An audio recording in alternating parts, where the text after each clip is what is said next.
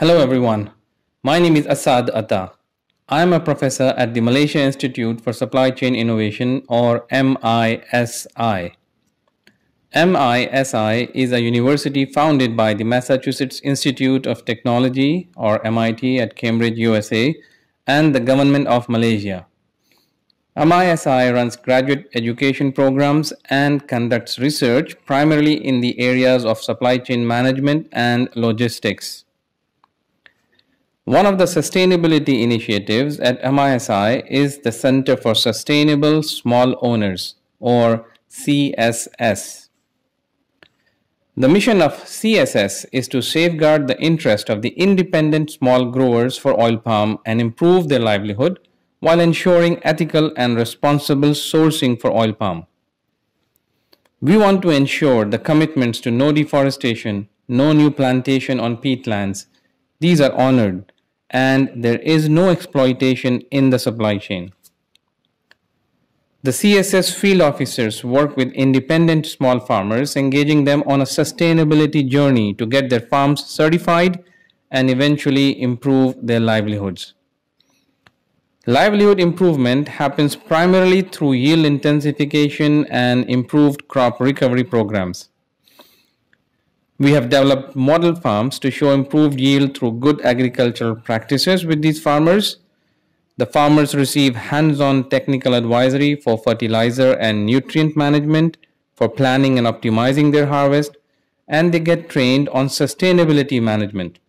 This includes financial and environmental management. One of the key aspects of this initiative is empowerment. CSS has helped create an association of these farmers, by these farmers, and of course for these farmers. We call it Parta Niaga, which comes from Pertubuhan Tani Niaga. Our goal is for the Pertaniaga farmers to be entrepreneurs, acting as agents for social and environmental change as resource trainers and as ambassadors of the program, scaling this effort to other farmers and communities. As part of our outreach, CSS is conducting webinars with support from our project partner Yara. These webinars are in Bahasa Melayu conducted by CSS consultant agronomists. We invite you to join these webinars, ask questions as these are conducted live, and we'll do our best to get back with our answers. If not live, then soon afterwards. Thank you and see you soon. Uh, hello, Assalamualaikum. Selamat petang. Okay. Uh, Assalamualaikum, selamat petang semua. Terima kasih sebab datang hadir ke dalam sesi ini pada petang ini. Okey, petang ini kami akan berkongsi sebersedikit berkenaan dengan tajuk pada hari ini iaitu fungsi dan kepentingan MG ataupun magnesium kepada pokok kelapa sawit. Okey, mohon tuan-tuan boleh share uh, live ini kita boleh kongsi bersama-sama dengan rakan-rakan rakan-rakan yang di luar, rakan-rakan yang uh, yang tuan kenali serta rakan-rakan serta grup-grup yang yang berkaitan dengan uh, uh, tanaman ya tuan-tuan. Uh, mohon kepada semua. Okey, uh, saya memperkenalkan diri sesiapa yang masih belum kenal dan masih belum uh, bersama kita dalam sesi sebelum ini. Saya uh, Muhammad Hanafi bin Mansur. Saya merupakan uh, sebagai uh, agronom, agronomis dari Yara International Sdn Berhad dan Yara Malaysia manakala kawan saya Chua Suntat uh, merupakan senior agronomis. Uh, uh, hari ini perkongsiannya berkenaan dengan kelapa sawit, berkenaan dengan magnesium. Okey, uh, sebelum kita start mungkin uh, uh, saya boleh boleh sebut sedikit uh, uh, berkongsi sebelum ini kami telah membuat webinar pertama dan webinar yang kedua manakala pada hari ini merupakan webinar yang ketiga Webinar yang pertama kami telah sentuh berkenaan dengan fungsi dan kepentingan nitrogen iaitu N pada pokok kelapa sawit. Manakala webinar yang kedua uh, kami telah berkongsi uh, slide ataupun perkongsian berkenaan ataupun bertajuk uh, kepentingan dan fungsi potasium kepada kelapa sawit. Okey, manakala pada hari ini kami berdua uh, insyaAllah uh, dalam tempoh satu jam kita ambil untuk berkongsi berkenaan dengan uh, uh, fungsi dan kepentingan uh, magnesium pada pokok kelapa sawit. Okey, uh, mohon share ya tuan-tuan, mohon share tuan-tuan kita sama-sama berkongsi uh, ilmu-ilmu yang kita boleh kongsi bersama ya tuan-tuan. Okey, untuk kita bermula dengan slide. Saya buka slide sekejap.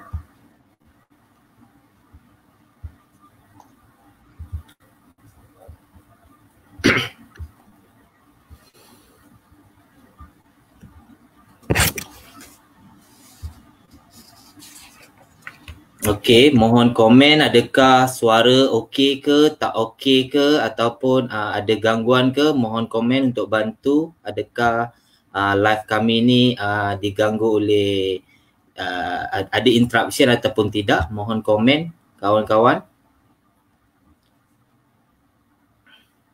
Sebelum kami meneruskan, uh, mohon uh, kawan-kawan yang bersama kami untuk komen adakah suara kami jelas.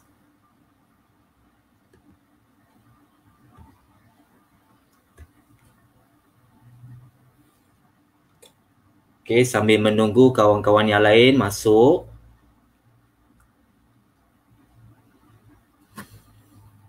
Hmm, okay tuan-tuan, kita start. Kita bermula dengan uh, webinar yang kedua iaitu, okay terima kasih Iza Kairina, jelas.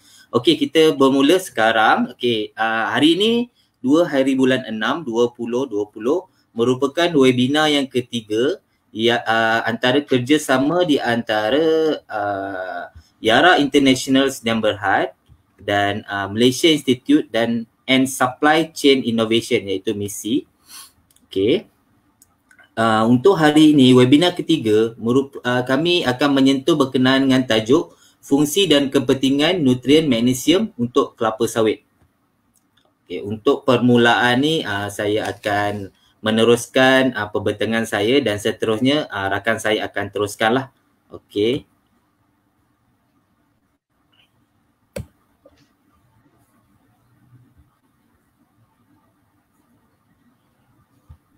Okey, ini merupakan kandungan ataupun uh, isi kandungan yang akan kami sentuh dan berkongsi kepada tuan-tuan iaitu pertamanya adalah apakah nutrien yang diperlukan oleh tumbuhan yang kedua, hukum minimum Liebig, fungsi Mg iaitu magnesium untuk tumbuhan, kepentingan magnesium bagi kelapa sawit, sumber Mg untuk kebun, gejala atau simptom kekurangan magnesium, punca kekurangan magnesium, cara mengatasi kekurangan magnesium, pembajaan dan kesimpulan.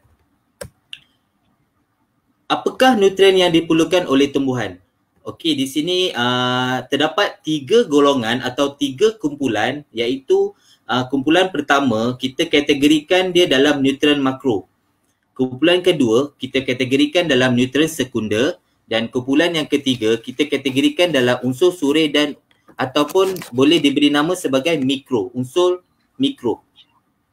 Dalam uh, nutrien makro terdapat N, P dan K, nitrogen, fosforus dan kalium Manakala untuk uh, nutrien sekunder terdapat kalsium, magnesium dan sulfur. Dan unsur-unsur suri tuan boleh lihat di sini boron, zinc, uh, manis, uh, uh, ferrum, copper, molybdenum dan klorin. Okey, hari ini kami akan sentuh nutrien sekunder iaitu magnesium. Magnesium ni juga uh, merupakan amat penting kepada pokok dalam uh, membantu dalam penghasilan. Dia lebih membantu dalam penghasilan daripada pertumbuhan. Manakala uh, dari segi uh, tuan-tuan perlu tahu apakah uh, ke kebolehan dari segi makro, sekunder dan mikro. Okey. Uh, nutrien makro ni merupakan uh, nutrien yang paling penting dan paling banyak yang diperlukan oleh tumbuhan tuan-tuan. Manakala nutrien sekunder merupakan nutrien yang kedua dan kita boleh katakan uh, nutrien yang kurang sedikit uh, pengambilan daripada nutrien makro. Okey dan untuk unsur-unsur suri, tuan-tuan tidak boleh uh, leka ataupun tidak boleh uh, ketinggalan untuk ambil unsur-unsur suri tersebut uh, disebabkan walaupun penggunaan unsur-unsur suri ini amat sedikit tapi ia juga membantu dalam pembiakan serta pertumbuhan pokok ataupun tumbuhan tuan-tuan. Untuk hukum minimum liability, okey saya terangkan sedikitlah di sini. Uh, untuk ini, gambar raja ini bermaksud kita boleh cerita dengan ayat yang lebih mudah tuan-tuan. Okey, ini merupakan hasil tuan-tuan ataupun pokok tuan-tuan di tengah ini. Okey, ia dikelilingi oleh, uh, boleh diumpamakan dikelilingi oleh uh, macam satu tong air dan setiap papan ini, tuan-tuan boleh nampak, setiap papan ini tertulis uh, kepentingan dan uh, apa yang diperlukan iaitu dari segi uh, setiap papan ini mewakili unsur-unsur nutrien yang diperlukan oleh pokok tersebut. Okey. Ada yang tinggi tuan-tuan boleh nampak, ada yang sedikit, ada yang rendah lah. Ibarat ketinggian dan uh, rendah itu keperluan dia sedikit dan tinggi itu keperluan dia banyak lah. Okey, uh, menurut hukum Leibig, hasil akan dihadkan oleh nutrien yang paling kekurangan dalam tanaman. Okey, ini bermaksud contohnya lah tuan-tuan. Uh, tuan-tuan kekurangan nutrien uh, magnesium. Kita uh, contohkan pada hari ini punya tajuk iaitu ke, uh, magnesium. Jika tuan-tuan kekurangan magnesium tapi pihak tuan-tuan ataupun pihak pekebun hanya aplikasi uh, lebihan untuk uh, kalium. Uh, sebenarnya untuk langkah uh, tampalan ataupun pembaikan pulih untuk pokok uh, tuan-tuan ia memerlukan uh, magnesium. Tetapi tuan-tuan uh, menggunakan salah nutrien yang tuan-tuan berikan kepada pokok tuan-tuan. Maka dari segi hasil tiada pertambahan. Uh, itulah uh, hukum minimum liability lah. Uh, maksudnya dari segi bagaimana tuan-tuan ataupun cara memper, memperbetulkan apa yang kekurangan pada tumbuhan ataupun pokok kelapa sawit tuan-tuan.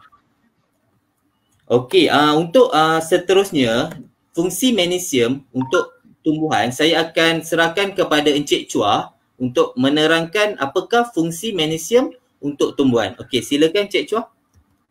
Okey, selamat, selamat petang semua. Terima kasih Hanafi. Kita pergi kepada fungsi magnesium untuk tumbuhan. So So apa apakah fungsi magnesium? Magnesium magnesium penting untuk komponen dalam molekul chloroplast. Kita bayang bayangkan okey daun daun tumbuhan ialah macam kilang macam kilang penjana kuasa. So tenaga dari matahari di, digunakan untuk bertukar kepada makanan. So macam kil, kilang jana kuasa juga dia perlu bahan untuk tukarkan tenaga ini kepada tenaga lain. Jadi magnesium penting dalam proses penukaran ini. So jadi sebab itu magnesium penting untuk kecekapan proses fotosintesis atau penukaran tenaga daripada cahaya matahari kepada makanan atau karbohidrat. Kedua ialah magnesium terlibat dalam pengaktifan enzim. Enzim untuk apa? Untuk metabolik atau penukaran fosfat. Penukaran fosfat terlibat dalam uh, pernafasan atau respirasi tumbuhan. So dia penting dekat dia penting dekat sana. Atau yang satu lagi yang menstabilkan ribosom. Ribosom ialah satu jenis sel dalam dalam komponen sel dalam tumbuhan yang penting untuk penghasilan protein. Tapi dekat sini, magnesium diperlukan untuk menstabilkan ribosobium dalam susunan penghasilan protein. Selain itu, magnesium juga penting dalam pengangkutan nutrien atau makanan.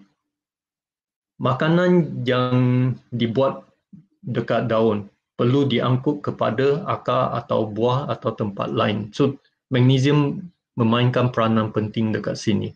dan juga untuk penyerapan nutrien daripada tanah seperti NPK dan nutrien lain ke dalam akar dan kemudian dibawa kepada daun atau tumbuh tempat pertumbuhan yang lain. So ini perlukan magnesium.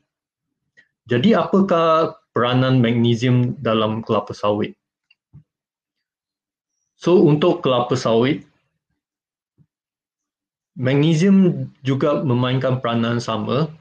Dia merupakan komponen dalam klorofil.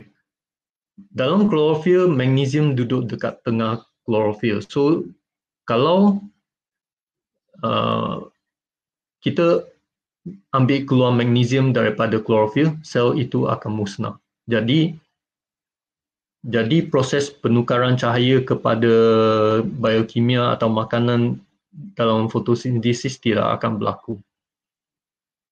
Kedua ialah kompon, dia juga komponen penting dalam enzim mang, menjadi mangkin atau uh, starter atau bahan yang memulakan proses sintesis atau proses macam sintesis klorofil ini uh, magnesium jadi makin untuk sintesis klorofil dan juga proses-proses memerlukan tenaga. Contohnya sintesis atau pembuatan protein atau kan, dan kanji pengangkutan bahan yang diasimilasi atau bahan makanan yang dibuat dekat daun ke diangkut kepada buah atau akar. Untuk penghasilan pula dalam kelapa sawit, magnesium uh, perlu untuk meningkatkan kecekapan sintesis minyak. Ini dalam mesokarp dalam tandang kelapa sawit. So sintesis minyak ini penting sekiranya kita kita kekurangan magnesium, sintesis minyak akan kurang dalam mesokarp. Okey, apakah yang boleh apakah yang kita nampak sekiranya ada kekurangan? Okey, kita pergi sumber magnesium untuk kebun dulu. Kebanyakan magnesium yang boleh kita bekalkan ada dah dalam dalam baja.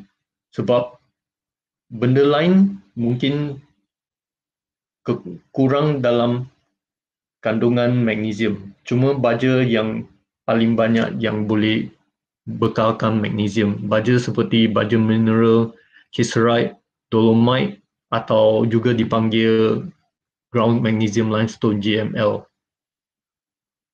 Okey, apa beza kieserite dengan dolomite atau GML? Salah sini saya saya akan cakap pasal natural kieserite sebab dia berbeza dengan satu jenis lagi yang kita panggil synthetic kieserite itu uh, pembuat dalam pembuatan industri kita cakap pasal natural kieserite yang merupakan sumber daripada galian. Sama juga GML digali, digali dan diproses. Okey. Perbezaan kieserite dengan GML ialah kelarutan dalam air GM kieserite tinggi dan kelarutan dalam asid juga tinggi. Bagi GML, kelarutan dalam air rendah kelarutan dalam asid sederhana sederhana sahaja.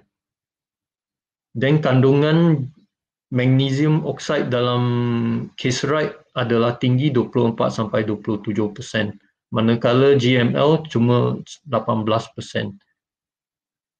Okey, un- untuk kieserite sekiranya kita perlu untuk memperbetulkan kekurangan magnesium, inilah bahan yang yang cepat untuk melepaskan magnesium ke tanah daripada baja ke tanah berbanding dengan GML. GML dia punya pelepasan lambat tapi ini bergantung kepada pH tanah. Bagi pH tanah yang rendah yang berasid pelepasan magnesium daripada GML adalah ting- le- lebih cepat berbanding dengan tanah yang alkaline. Dan ini juga bergantung kepada berapa halus baja GML yang didapati. Lagi halus, lagi lagi cepat untuk pelepasan magnesium. Okey, selain baja, bahan organik juga mempunyai sedikit magnesium, tapi sedikit. Dia tidak boleh membekalkan magnesium yang banyak sekiranya kita perlu untuk membaiki kekurangan. Tapi bahan organik penting untuk membaiki keadaan kimia tanah. So kita letak untuk membaiki uh, keadaan keadaan dalam dalam tanah dan sekaligus itu akan mem, akan meningkatkan status magnesium dalam tanah. So apakah bahan organik yang kita kita boleh gunakan? Seperti biasa potongan pelepah, tandang kosong, pome, mendapan atau pekerja pomid dengan kompos. Inilah bahan organik. Tapi dia diperlukan untuk menstabilkan atau membaiki situasi kimia dalam tanah supaya lebih banyak magnesium boleh dipegang atau boleh didapati oleh tanaman. Dia bukan untuk uh, pembetulkan terus keadaan kekurangan. Jadi apakah gejala atau simptom kekurangan magnesium? Ini untuk untuk kes yang awal.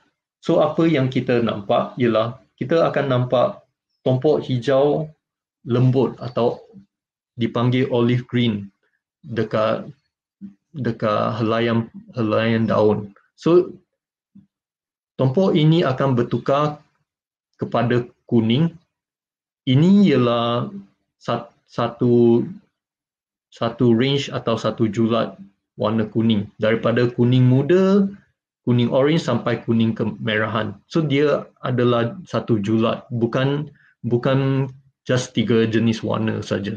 Dia daripada kuning lembut sampai kuning kemerahan.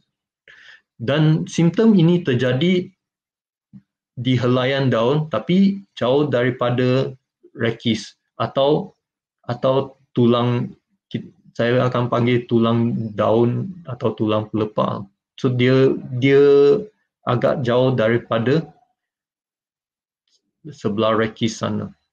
Dan simptom simptom yang kamu nampak akan berada di helaian daun atas yang terdedah kepada matahari. Manakala helaian yang tidak terdedah yang di bawahnya akan kekal hijau tua. So itu ialah salah satu sim, simptom yang penting yang kita boleh nampak. Dan simptom-simptom ini selalu akan bermula dari pelepah bawah.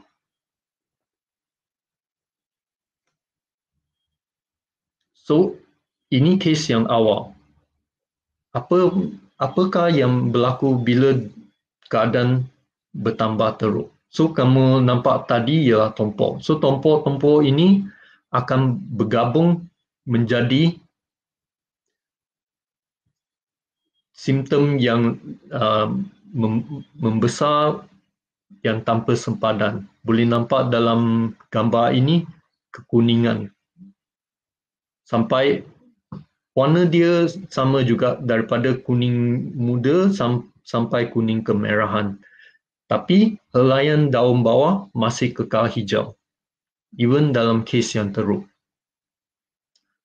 Apa apa pula berlaku pada hujung daun ialah dia daripada julat kuning muda sampai kuning kemerahan menjadi warna coklat kemudian atau jadi ungu kemudian mati bermakna dia jadi nekrosis atau mati so tapi ini bukan bukan cakap dia terus jadi coklat uh, dari coklat tukar kepada ungu dia akan dalam dalam daun itu ada coklat, ada ungu, ada juga warna kekuningan juga. Tapi pada akhirnya ah, daun ini, pelepah ini akan mati.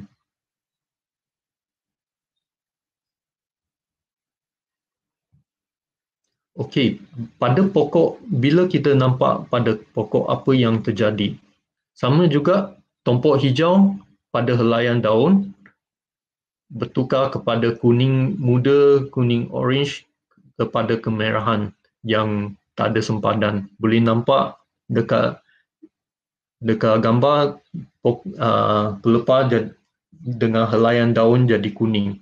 Simptom kekuningan ini bermula daripada daun yang paling bawah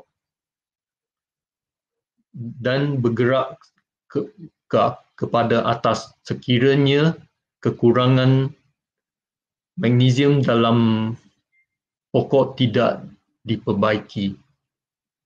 So pelepah yang bawah akan akan mati dan menjadi kering sekiranya menjadi bertambah teruk.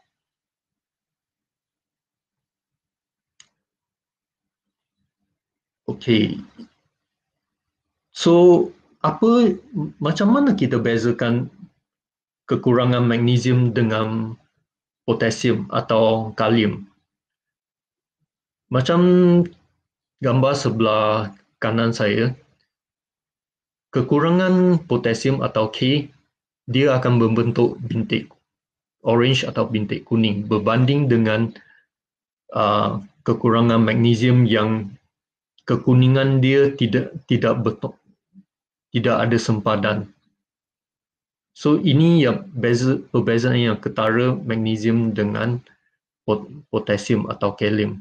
Dan kamu tengok gambar sebelah kiri, magnesium, kekurangan magnesium daun pelepah helaian daun atas yang berwarna kuning tapi helaian daun yang bawah masih berwarna hijau.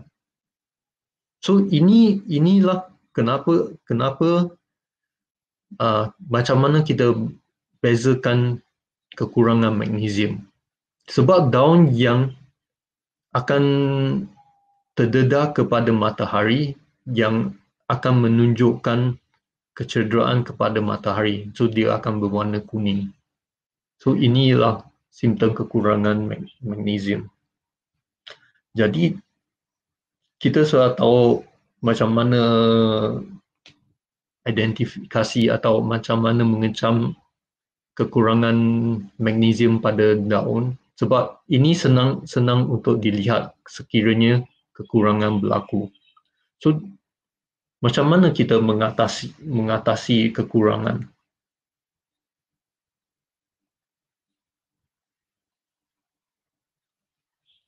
So okey sebelum mengatasi kita tengok punca kekurangan dulu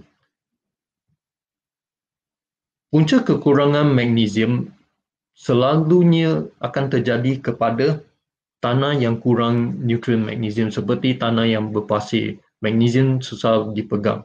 Tanah atas bukit yang cetek yang sering mengalami hakisan. Jadi magnesium tidak boleh disimpan dekat sana. Sering, sering dibawa lari oleh air. So inilah kita nampak kepada tanah. So kedua ialah konsentrasi magnesium dapat ditukar dalam tanah. Ini ini ialah cara kita cara kita ukur berapa banyak magnesium yang boleh didapati oleh diambil oleh akar So konsentrasinya kalau kurang daripada 0.2 centimol per kilogram tanah, so itu memang kita kira kurang konsentrasi magnesium yang boleh didapati oleh tumbuhan atau dalam konteks ini pokok sawit kita.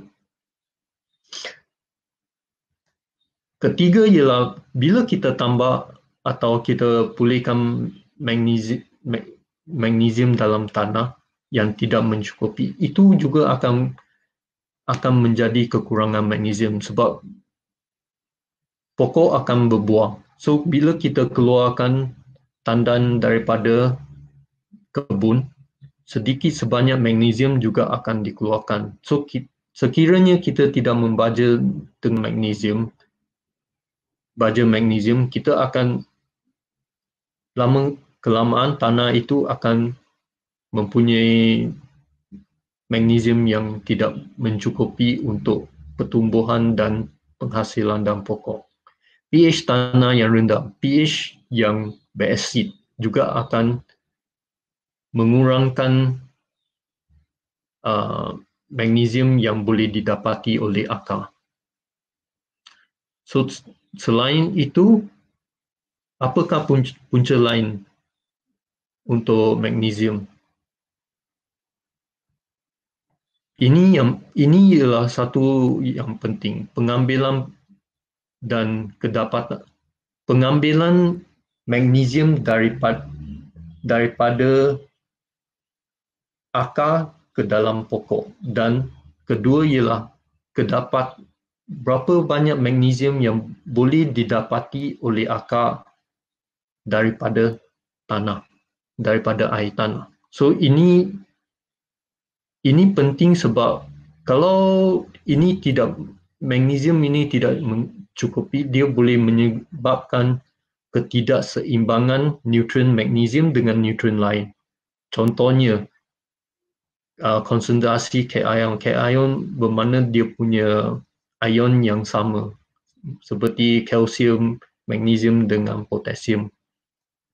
So kalau kadar kalsium kepada magnesium dalam ini dalam tanah yang bol- boleh didapati di, li, uh, kalau kadar dia 5 kepada 1 bermakna uh, dia akan menyebabkan ketakseimbangan. So ke, magnesium susah akan susah didapati dari, daripada tanah atau kadar magnesium kepada K melebihi 1.2 kepada 1.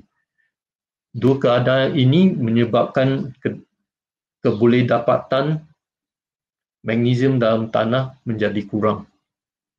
Atau kita baca dengan terlampau banyak uh, baja potasium atau baja kalium dalam satu masa. So ini juga akan meningkatkan kandungan potasium atau K dalam tanah yang menyebabkan magnesium kita susah mau diambil oleh akar. Baja baja yang mengandungi unsur kalsium yang boleh larut yang tinggi.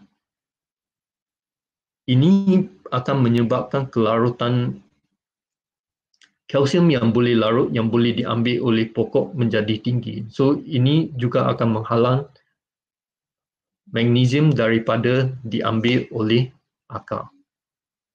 Selain itu, baja N berasaskan amonia juga sebab amonia dia sama dia sama ion sebab dia positif, dia sama ion dengan magnesium. So dua ini akan bersaing untuk diserap ke dalam akar. So ini akan inilah yang boleh menyebabkan kekurangan magnesium sifat tanah tanah dan nutrien yang akan akan sebabkan kekurangan magnesium.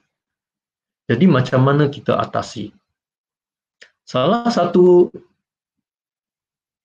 uh, kita, kita kena tinjaukan tahap magnesium dalam pokok atau tanah dengan mengambil sampel daun atau tanah untuk analisis.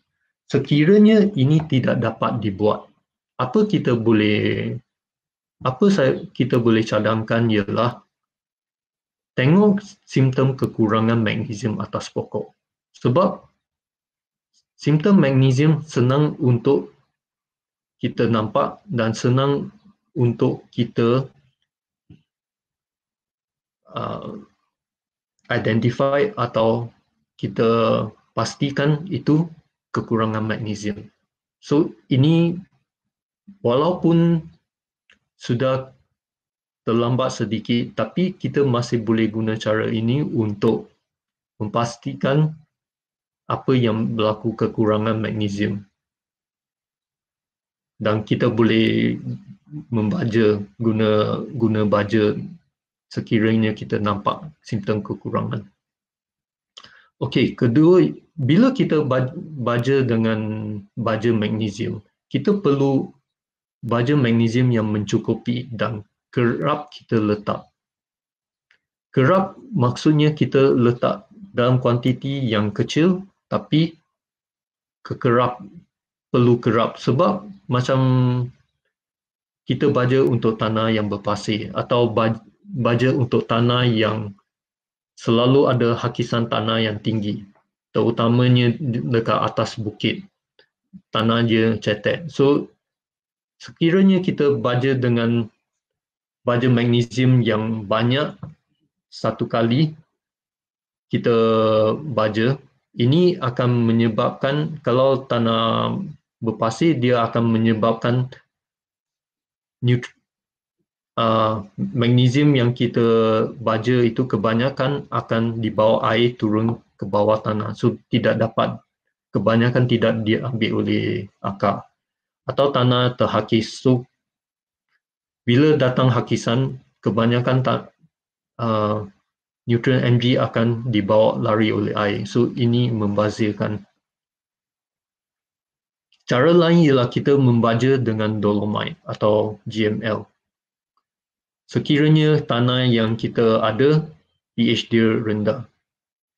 Seperti pH uh, 4 atau ke bawah.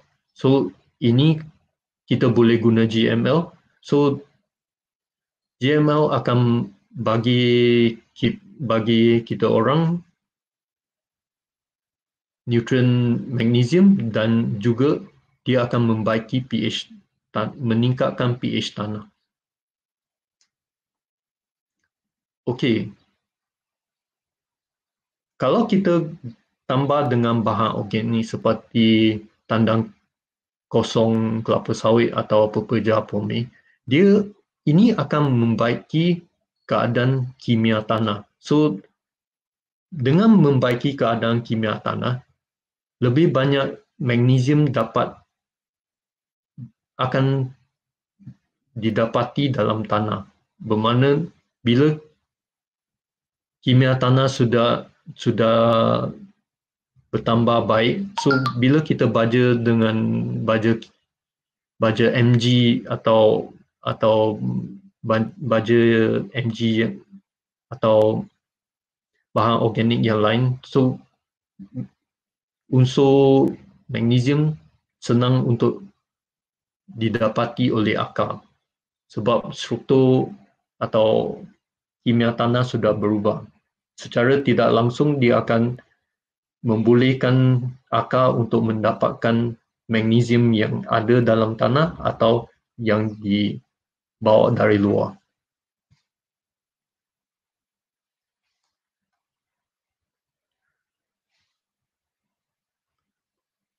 Okey. Itu ialah secara langsung.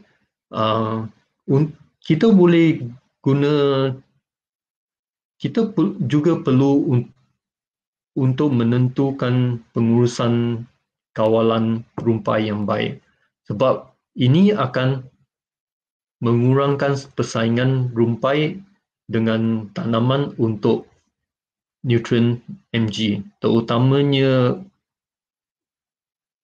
rumpai yang cepat merebak atau cepat membesar.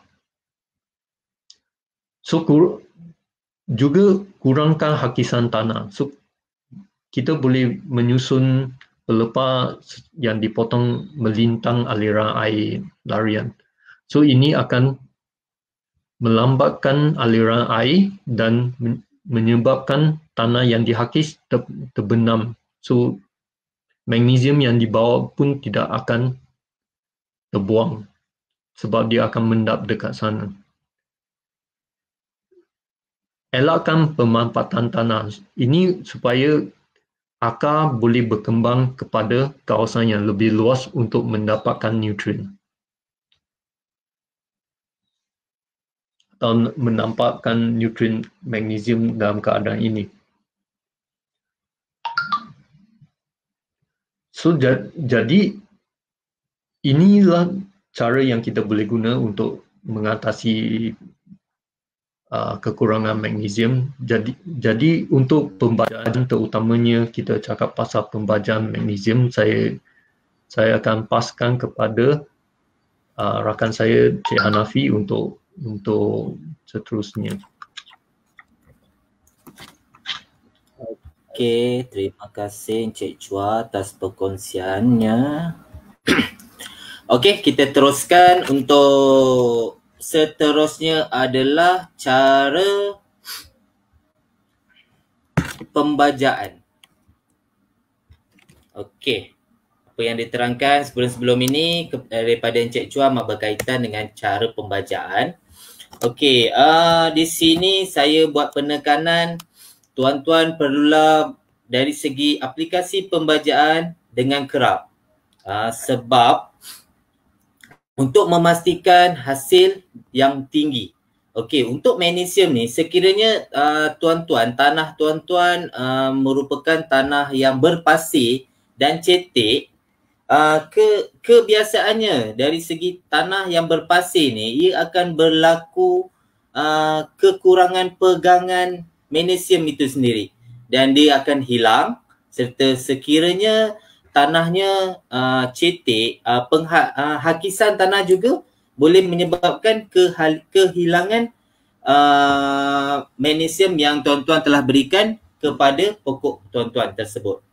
Okey, maksud di sini kerap uh, kerap uh, dengan kadar yang sedikit sekiranya dalam satu tahun uh, pembajaan uh, dolomite yang diberikan kepada uh, pokok kelapa sawit iaitu 2.5 kilo untuk satu tahun uh, kita sarankan tuan-tuan jangan berikan untuk sekadar sekali saja setahun. Mungkin tuan-tuan boleh berikan dalam 2 hingga 3 kali setahun dalam jumlah yang sama. Tetapi uh, pembajaan yang diberi uh, yang dibahagikan kepada tiga Okey, uh, di sini juga saya tekankan untuk cara pembajaan, tuan-tuan haruslah lakukan ataupun tabur secara berselerak. Berselerak ya tuan-tuan, jangan bertumpuk. Okey, berselerak ini uh, dari segi serapan ataupun uh, efisiensi uh, serapan baja yang tuan-tuan berikan lebih tinggi daripada bertumpuk. Itu yang pertama. Yang keduanya, sekiranya tuan-tuan bu- membuat pembajaan secara bertumpuk, ia akan boleh uh, ataupun akan uh, merosakkan perakaran tanaman tuan-tuan dan dia juga boleh menyebab akar akan terbakar tuan-tuan. Itu yang kami tekankan mengapa tuan-tuan ataupun semua pekebun perlulah membaja secara berselerak jangan bertumpuk. Dan uh, dari segi cuaca pula, uh, tuan-tuan pastikan uh, elakkan daripada membaja pada musim kemarau yang berpanjangan. Dan dari segi uh, hujan pula, tuan-tuan juga perlu elakkan sekiranya hujan itu tanpa henti dalam tempoh tiga hari berturut-turut. Ah itu juga penting dalam pembajaan yang tuan-tuan berikan kepada pokok untuk meningkatkan efisiensi pengambilan baja tuan-tuan yang telah yang telah tuan-tuan taburkan kepada pokok tuan-tuan. Seterusnya, pembajaan untuk pokok muda saya tekankan sini ataupun kami syorkan adalah di kawasan bulatan. Bulatan ataupun kita boleh kenali dengan kanopi pokok serta kita juga boleh kenali dengan hujung pelepah daun dan itu merupakan tempat uh, adanya uh, akar yang aktif dan akar putih yang akan mengambil pembajaan yang tuan-tuan ataupun mengambil nutrien yang tuan-tuan telah berikan kepada pokok tersebut dengan lebih efisien. Maksudnya dengan lebih baik. Itu kami sarankan untuk pokok muda. Manakala untuk pokok matang, okey, pokok matang ni kami kategorikan kepada dua, kepada dua iaitu uh, pokok matang yang telah daunnya bersilang ataupun telah uh, bertindih. Mana uh, untuk yang keduanya pokok matang yang daunnya belum bertindih. Okey, untuk pokok matang yang daunnya belum bertindih dan telah menghasilkan buah, kami sarankan tuan-tuan membaja di kawasan bulatan. Manakala untuk pokok matang yang telah bersilang daunnya, kami sarankan tuan-tuan membaja di kawasan permukaan atas atau tepi susunan pelepah. Uh, susunan pelepah uh, kami sarankan tuan-tuan uh, perlu penuhkan kawasan-kawasan yang uh, masih kosong, masih boleh diletakkan pelepah dan kawasan yang tidak digunakan untuk sesi ataupun kerja-kerja yang dilakukan di ladang. Kami sarankan tuan-tuan boleh letakkan di situ pelepah-pelepah dan uh, dengan dengan susunan yang uh, cantik serta susunan yang lebih tersusun lah tuan-tuan dan seterusnya akan membantu dalam uh, bantuan pembajaan aplikasi pembajaan uh, yang tuan-tuan akan lakukan di kebun tuan-tuan. Okey, mengapa saya sarankan atas atau tepi susunan pelepah? Okey, di sini saya jawab. Uh, kedudukan setiap bawah pelepah merupakan tempat adanya akar aktif. Akar putih. Kalau tuan-tuan tidak percaya, okey selepas ini tuan-tuan boleh pergi ke kebun tuan-tuan masing-masing. Tuan-tuan buat perbezaan akar yang berada di bawah pelepah dan akar yang terdedah ke cahaya ataupun yang tidak di uh, diletakkan di bawah pelepah. Tuan-tuan boleh korek, tuan-tuan boleh nampak perbezaan akar-akar tersebut. Maksudnya dari segi kuantiti, dari segi putih uh, akar tersebut. Okey, uh, kami surkan di atas pelepah ataupun di tepi susunan pelepah juga, uh, ia disebabkan uh, di bawah pelepah dia mempunyai kelembapan yang tinggi kelembapan uh, yang boleh membantu dari segi serapan ataupun uh, serapan baja yang telah kita uh, selerakkan di kawasan pelepah tersebut. Dan seterusnya dia akan meningkatkan penyerapan baja yang tuan-tuan telah berikan. Bermaksud di sini cara pembajaan yang saya kongsikan di sini, yang saya uh, tekankan di sini, ia juga boleh membantu dari segi kehilangan serta uh, kerugian tuan-tuan semasa membuat pembajaan. Uh, pertama, kerap. Kedua, berselerak. Ketiga, bulatan untuk pokok muda. Dan keempat, susunan pelepah.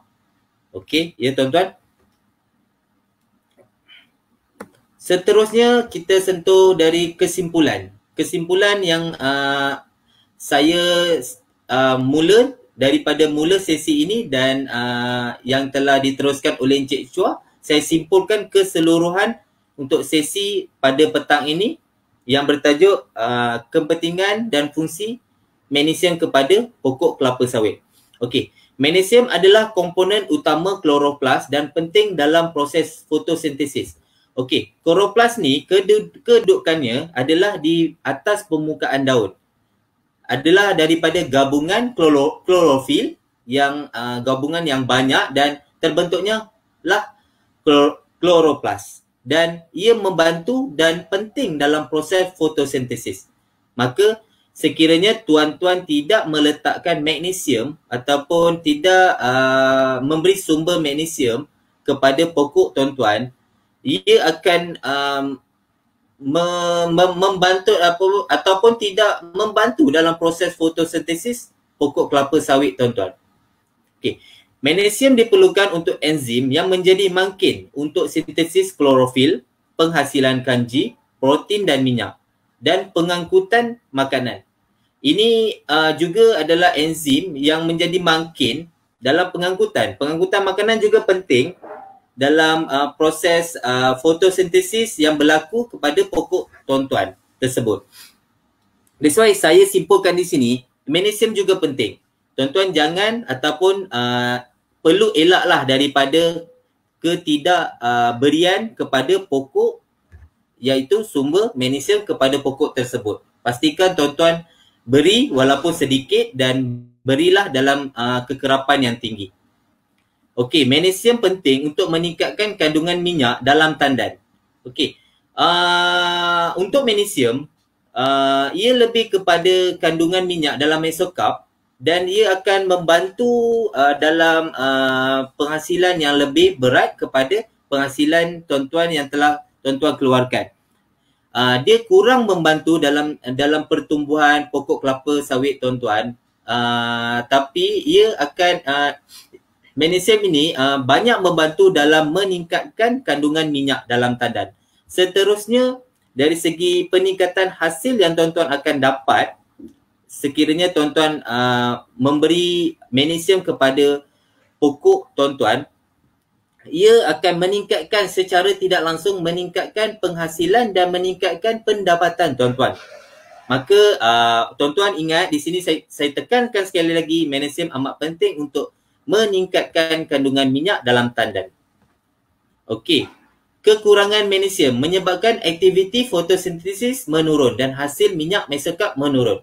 Okey, ini merupakan uh, sekiranya pokok tuan-tuan mengeluarkan gejala seperti yang telah dilampirkan uh, slide sebelum ini uh, maka dari segi secara tidak langsung pokok-pokok tuan-tuan uh, dari segi aktiviti fotosintesis yang berlaku menurun dan hasil minyak mesokarp pun menurun. Mungkin tuan-tuan tidak sedar tapi sekiranya tuan-tuan uh, mem, uh, memulihkan semula pokok tuan-tuan mungkin tuan-tuan boleh dapat perbezaan pendapatan dan hasil dari segi perbezaan sebelum tuan-tuan memulihkan pokok tuan-tuan tersebut. Okey, lebihan mg mengganggu penyerapan nutrien K.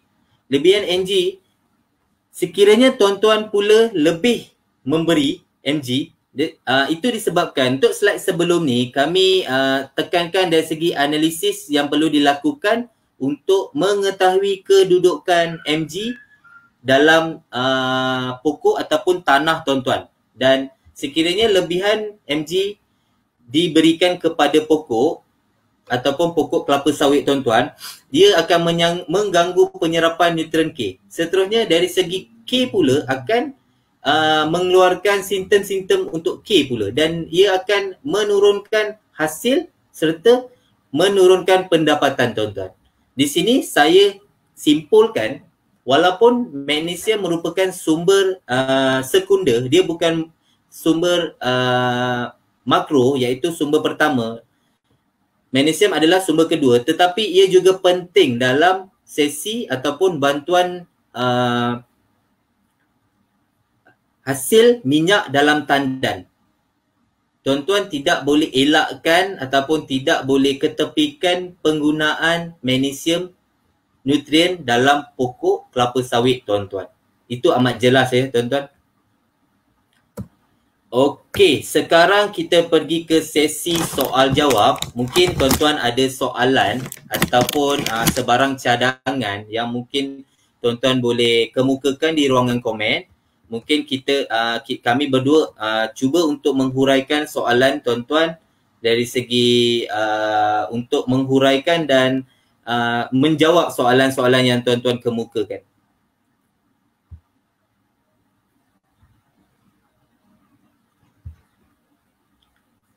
Okey, Cik Chua. Saya cuba pergi satu persatu dari segi uh, soalan. Mungkin tuan-tuan sekarang tuan-tuan boleh kemukakan soalan yang berkaitan dengan uh, tajuk pada hari ini iaitu fungsi dan kepentingan nutrien magnesium kepada pokok kelapa sawit.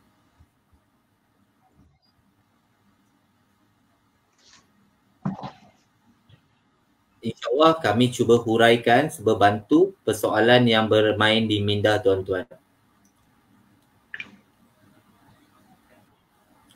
Mungkin soalan-soalan yang uh, sebelum-sebelum ini yang tidak dapat dijawab ataupun tidak dapat diberikan berkaitan dengan webinar satu dan webinar dua berkaitan dengan fungsi nitrogen pada pokok kelapa sawit dan fungsi potasium pada pokok kelapa sawit pun boleh jugalah uh, diterangkan. Okey, kita dapat satu soalan. Okey, mungkin uh, soalan ini Okey, kita syorkan soalan ini daripada daripada Encik Bobby. Bobby Yap Cheng Lok. Okey, boleh terangkan simptom kekurangan magnesium. Okey, tak apa kita kita tunjukkan semula slide yang telah diterangkan oleh Encik Chua berkenaan dengan simptom kekurangan magnesium.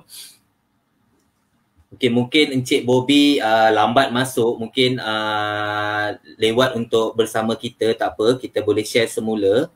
Tak ada masalah. Yang penting kita dapat kongsikan kepada tuan-tuan dan tuan-tuan berpuas hatilah dengan uh, perkongsian kita pada hari ini. Okey.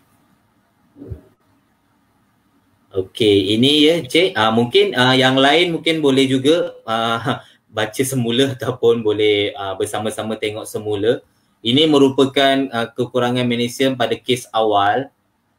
Encik Bobby boleh nampak di sini uh, telah terlihat uh, tompok hijau ataupun olive green. Dia bertukar kepada kuning muda kuning oranye dan kuning kemerahan. Inilah kita letak gambar di sini untuk pertukaran ni daunnya and then dan seterusnya uh, Cik Bobby boleh nampak simptom terjadi dekat hujung helaian daun. Okey ini kita terletak di sini and then, dan seterusnya uh, ada dua daun atas dan bawah. Simptom mula pada daun yang atas, helaian daun yang atas. Yang terlindung matahari kekal masih hijau muda.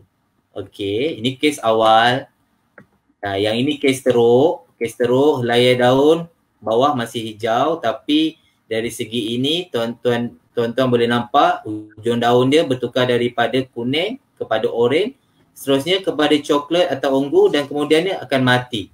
Maksudnya nekrosis ini akan matilah daunnya. Uh, ini kes yang amat teruk lah.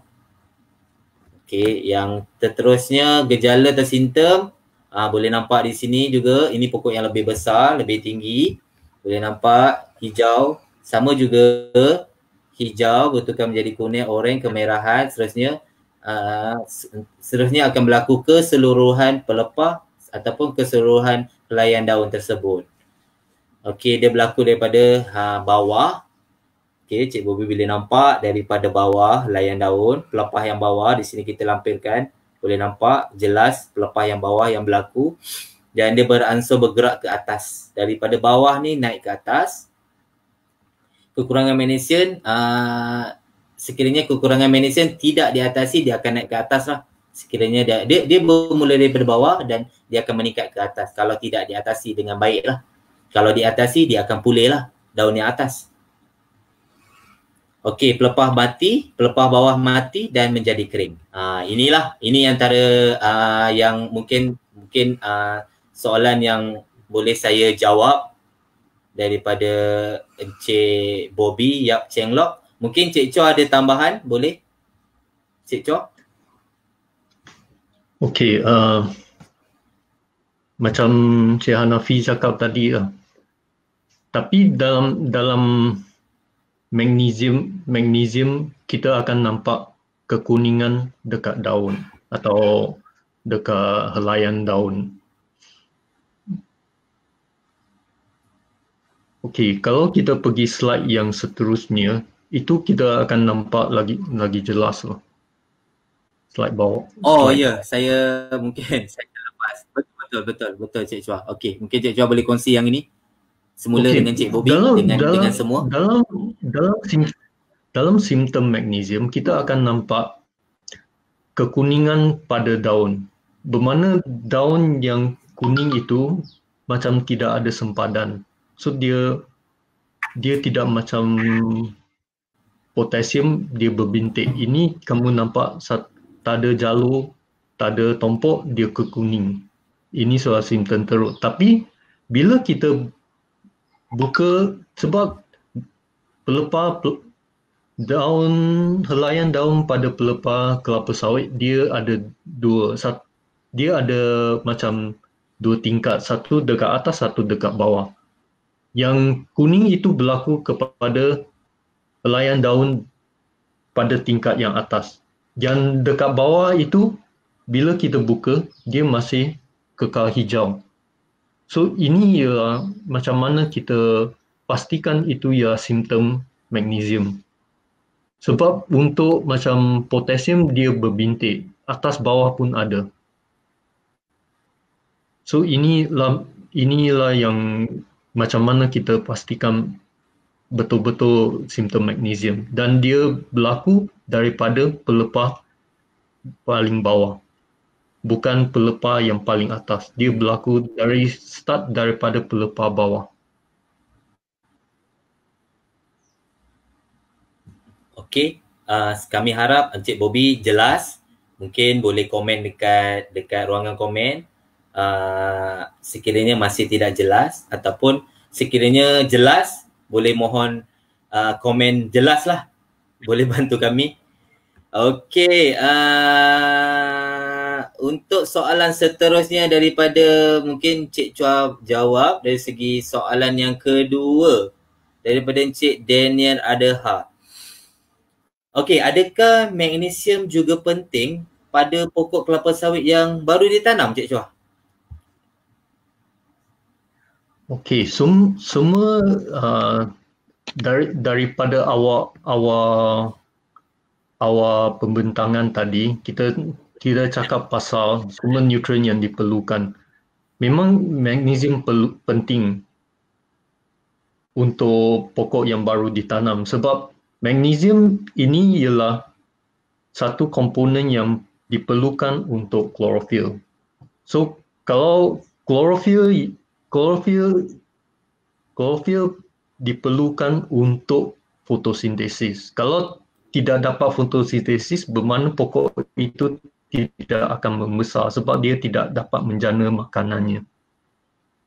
Yang biasa orang kita tidak letak sebab nutrien ini tidak diperlukan dengan kuantiti yang banyak seperti NK dengan P, fosfat. Jadi di mana dapatnya dapat boleh kekalkan sebab masih ada nutrien magnesium dalam tanah. Tapi kita sering kita just ambil saja. Kita tidak isikan balik. So lama kelamaan jadi kekurangan juga. Betul. That's why kalau tanaman sekiranya tuan-tuan uh, dari segi penghasilan, tuan-tuan keluarkan hasil. Bila hasil tu dikeluarkan dan secara tidak langsung tuan-tuan pun keluarkan nutrien juga. Maka sekiranya tuan-tuan tidak memasukkan nutrien ataupun tidak memberi pembajaan, maka pokok tuan-tuan bukan makin sihat tapi makin tidak uh, tidak sihat lah. Sebab mas, uh, berlakunya kekurangan magnesium ataupun nutrien pada pokok uh, tuan-tuan.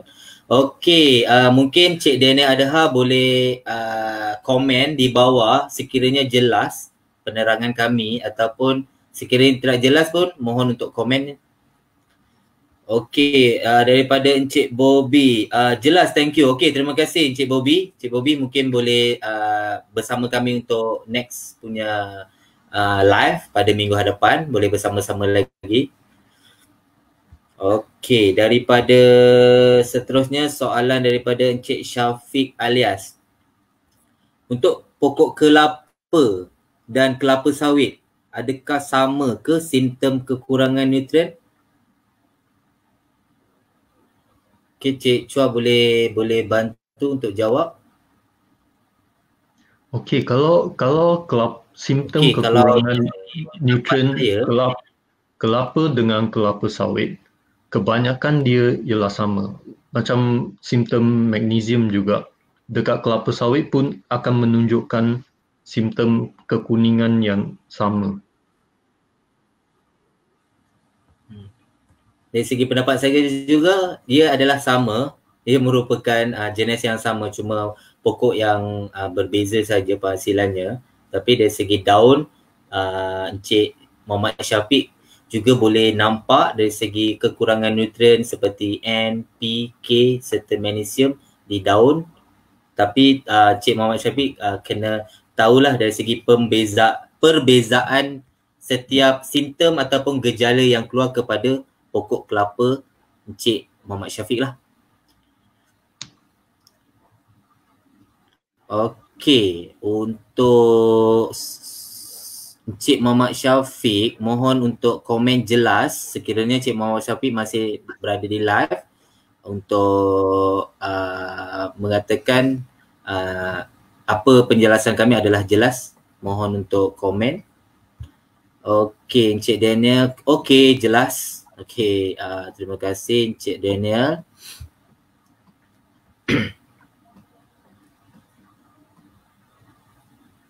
Okey, untuk Cik Daniel sebab kebanyakan pekebul ambil baja single. Oh, okey. Kecuali dapat baja subsidi. Oh, okey. Single. Okey, dari segi pendapat saya, kalau dari segi uh, kebanyakan pekebun, pekebun akan ambil uh, single nutrient bermaksud N, P dan K serta MG. Okey, kalau MG ni uh, dolomite lah ataupun JML lah yang uh, pihak pekebun boleh ambil tak ada masalah lah. Tapi dia kena tahulah berapa jumlah, berapa kuantiti. Uh, pada salad tak ada isu lah. Sekiranya pekebun nak ambil baja uh, single nutrient ataupun baja uh, tunggal.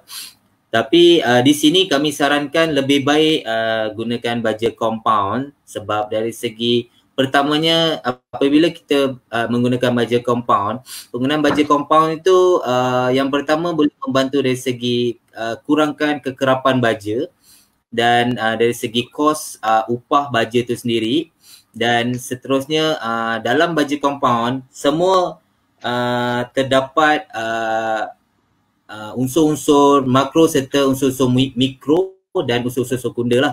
Tapi tuan-tuan uh, pastikan uh, di produk yang tuan-tuan berikan ada ada uh, unsur-unsur yang tuan-tuan perlukan kepada pokok tuan-tuan. Sekiranya uh, contohnya tuan-tuan beli baju NPK, pastikan NPK MG ataupun tambah boron lah, bukan NPK sajalah. Uh, tuan-tuan boleh tengok di label lah. Okey, uh, mungkin soalan yang ini Cik Chua boleh huraikan sedikit uh, daripada Cik Bobby juga. Okay, Cik Bobby memberi soalan yang kedua iaitu boleh huraikan dengan lebih mendalam mengenai interaksi magnesium dan potasium. Bagaimana kelebihan magnesium boleh mengurangkan penyerapan K?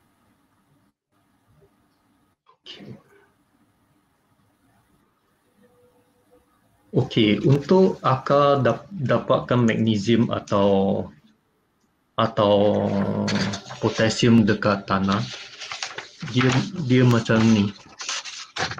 Kamu ada kamu ada uh, magnesium sikit kan? Okey okey kamu ada potasium dia ada dia ada sat dia ada plus satu.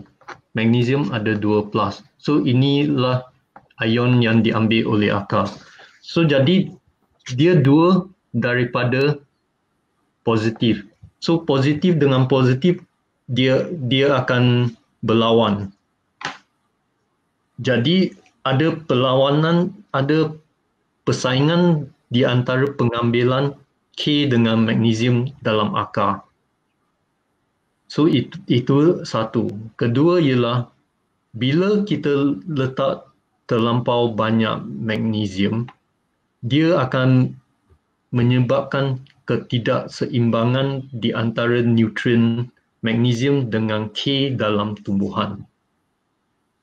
So kalau magnesium magnesium kalsium terlebih dalam tumbuhan dia akan mengurangkan penyerapan K ke dalam tumbuhan. Sebab tiga nutrien ini dia akan menjadi me, akan jadi kesem, bers, menjadi cation atau dia perlu seimbang dalam tumbuhan. Sekiranya dua nutrien uh, magnesium dengan kalsium terlampau tinggi, dia akan mengurangkan penyerapan K ke dalam tumbuhan. Sama juga kalau K dengan kalsium terlampau tinggi akan menyekat magnesium daripada diserap dalam tumbuhan juga. So semua ini perlu dalam satu keseimbangan tertentu. Dia ada seimbangannya sendiri. So kalau satu tel, kalau dua terlampau tinggi dia akan menyekat yang satu lagi. Okey, uh, mungkin uh, secara mendalam mungkin kita akan pergi ke sesi yang seterusnya mungkin pada 16 hari bulan iaitu cara pembajaan. Uh, mungkin kita boleh uh, berbincang berkenaan ataupun kami akan kongsikan berkenaan dengan interaction antara uh, setiap nutrien-nutrien yang telah kita kongsikan lah sebelum ini. Okey, uh, mohon uh, soalan lagi kalau sekiranya ada soalan. Okey, uh, uh, siapa yang masih ada lagi di siaran langsung ini, kita nak berkongsi pada minggu hadapan kita akan uh, akan bersama lagi pada tarikh yang sama. Sorry, pada hari yang sama, waktu yang sama dan tarikh 9 hari bulan 6 lah. 2020 dengan topik yang berbeza lah. Okey, daripada Encik Moi Hong Yo. Adakah simptom kekurangan MG pada kelapa sawit sama juga pada pokok durian? Okey.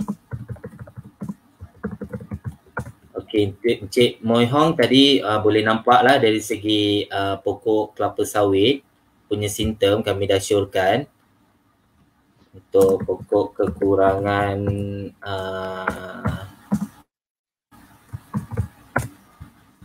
Okey, mungkin sekejap eh. Okey. Dari segi warna tu pada saya lah apa yang saya boleh jawab. Okey, sekiranya uh, untuk pokok kelapa sawit uh, perbezaan warna daripada warna uh, kuning pergi kepada uh, warna keorengan serta ke hujung sekali adalah warna kecoklatan yang akan menyebabkan rosak pokok tu sendiri. Uh, kalau sekiranya untuk uh, kekurangan MG pada pokok durian pula uh, dari segi warna dia berbeza daripada uh, warna uh, ataupun fasa warna yang ada pada pokok kelapa sawit. Okey, mungkin uh, saya nak share kat sini kejap eh. Gambar. Mungkin saya ada gambar tapi saya kena cari semula. Uh, mungkin uh, nanti selepas ini saya uh, uh, PM ataupun direct message kepada Encik Moi Hong lah. Ada perbezaan. Kalau apa yang saya boleh jawab ada perbezaan dari segi fasa perbezaan warna kes teruk dan kes awal untuk pokok kelapa sawit. Manakala untuk pokok durian uh, mungkin ada satu saja perbezaan dia warnanya. Okey, uh, mungkin Encik Chua boleh uh, huraikan sedikit, bantu untuk huraikan sedikit berkenaan dengan soalan uh, Encik Moi Hyong Yo. Ini saya kurang pasti tapi ini perlu perlu kita perlu cari semula lah sebab bagi saya saya kurang pasti untuk yang durian punya. Hmm. hmm. Okay, okay. Saya saya akan terus kepada Encik Moi Hong Yo nanti untuk uh, kontak terus lah maksudnya PM terus kepada Encik Moi Hong lah berkenaan dengan soalan Encik Moi Hong ni. Okay. Okey, soalan yang seterusnya daripada Encik Bobby. Okey, thank you akan join pada 16 hari bulan. Uh, ah, 9 hari bulan pun ada dan 16 hari bulan pun ada. Harap Encik Bobby pun boleh bersama kami lah pada 9 hari bulan. Mungkin topiknya kalau tak silap saya adalah fungsi untuk boron kepada pokok kelapa sawit. Betul tak Cik Syah? Saya Uh, sepatutnya saya 16 ialah untuk boron untuk sim- oh, untuk ke keperluan borong. Uh, next week ialah untuk phosphate. Oh, okay. Uh, untuk phosphate. Okay, harap boleh bersama kami lah sehingga hujung sesi. Okay, Encik Moi Hong Yo. Okay, terima kasih. Okay, nanti saya saya akan cuba bantu Encik Moi Hong lah. Okay, uh, mungkin kita terima lagi soalan. Mungkin so- dua soalan lagi terakhir. Uh, kepada yang masih live terima kasih. Yang masih bersama kami dalam live terima kasih sebab masih bersama kami lagi. Kita kita menerima dua lagi soalan. Kalau uh, tuan-tuan ada soalan yang yang boleh diutarakan kepada kami kami cuba untuk bantu untuk huraikan soalan tuan-tuan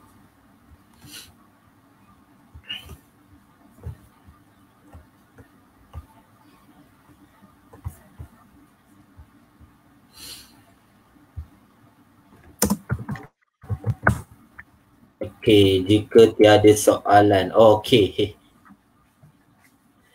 Okey, daripada soalan yang terakhir, Cik Chua. Daripada mungkin Cik Chua boleh bantu untuk jawab soalan ini. Uh, daripada Cik Kang Yang. Adakah program baja kami ikut juga ratio kalsium nisbah mg bawah 5 nisbah 1 dan K nisbah mg 1.2 nisbah 1? Hmm. Okey, yang yang ratio ini bukan untuk ratio baja. Inilah hmm. ratio, ratio itu saya slide dulu sekejap je. Saya slide dia ialah, slide. Dia ialah ratio, tadi, kan? ratio, ratio um, nutrient macam CA yang boleh didapat didapati dalam dalam tanah atau kita panggil available CA atau available magnesium dalam tanah. So itu itu ialah ratio itu dalam tanah, bukan ratio baja. So kita tidak boleh guna ini untuk buat program kita tak boleh. Sebab ini ialah apa yang terkandung dalam dalam tanah itu. So dia perlu ratio ini atau kurang atau lebih. So bergantung kepada apa yang kita ada. Sebab macam CA CA MG ini ialah available CA available to available MG dalam tanah atau um, C, uh, kalsium yang boleh boleh didapat boleh terdapat sedia terdapat dalam tanah dengan magnesium yang sedia untuk di, terdapat dalam tanah. So ini ini ialah uh, ukuran untuk apa yang nutrien yang boleh didapati oleh tumbuhan daripada tanah. So ini lain daripada ratio untuk baja. So kita tidak boleh samakan dua-dua ini. Okey. Terima kasih. Hmm, mungkin soalan yang terakhir, satu lagi soalan. Soalan terakhir sebelum kita menamatkan sesi kita petang ini kita akan sehingga 4.50 petang sekarang 4.47 okey ada 3 minit lagi untuk kita menjawab ataupun huraikan soalan yang terakhir. Okey untuk topik pada hari inilah iaitu fungsi kepentingan uh, magnesium pada pokok kelapa sawit. Sekiranya ada soalan boleh turunkan uh, kemukakan soalan anda di ruangan komen. Sekiranya tiada soalan kita akan menamatkanlah sesi untuk petang ini. Dan uh, harap tuan-tuan boleh bersama-sama lagi kami pada minggu hadapan iaitu pada 9 hari bulan 2 eh sorry 9 hari bulan 6 2020 uh, untuk sesi seterusnya uh, dengan topik yang berbeza pada waktu yang sama. Okey, itu saja. Okey, terima kasih Cik Chua. Okey, terima kasih semua. Terima kasih kepada yang yang masih uh, bersama kami sehingga hujung sesi. Terima kasih. Assalamualaikum. Selamat hari raya. Okey, bye-bye.